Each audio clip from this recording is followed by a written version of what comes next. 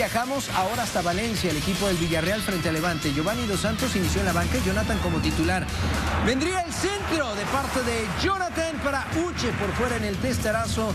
El guardameta Diego Mariño solamente observaba al minuto 25 en un saque de banda. Uche para Moisés Gómez y de nueva cuenta por fuera.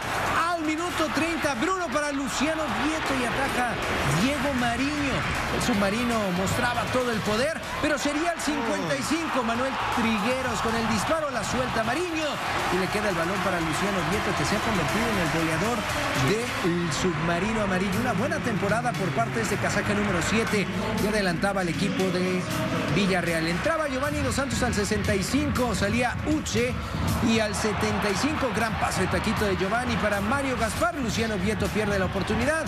Gio Dos Santos jugó 28 minutos mientras que Solamente 90, ganó.